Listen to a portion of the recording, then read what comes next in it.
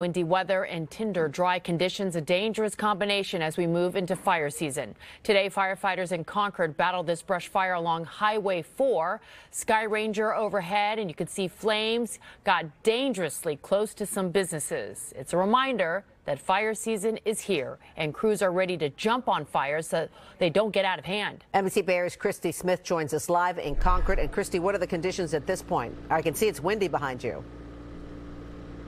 It certainly is, and firefighters had this contained a while ago and quickly moved into the mop up phase. But it has been windy out here today, and the fire was moving very quickly at one point, even heading up a hill. Conditions were right for this to happen, and it's still early in the season. Just after noon today, firefighters were called out because of flames near Willow Pass and Highway 4. When we arrived on scene, it was rapidly spreading uh, with the winds we're experiencing uh, quickly increased to about 20 acres. Chris Bachman is fire marshal with the Contra Costa County Fire Protection District. We're obviously experiencing the type of fire behavior we're seeing in June and July already in May. It's just the, the drier conditions that we had during the winter months. And then all it takes is a day like today with some high winds, low humidity.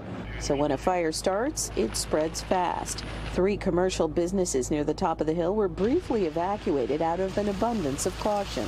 And uh, there was some pretty heavy smoke up here, so it, it, uh, the one of the assistant chiefs made a decision. It was time to uh, get that building cleared out.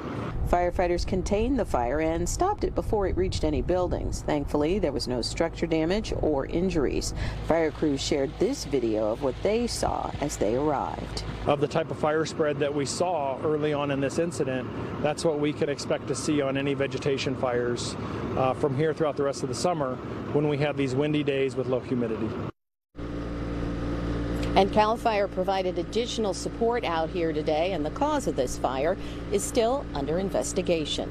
Reporting live in Concord, Christie Smith, NBC Bay Area News. All right, thank you, Christie.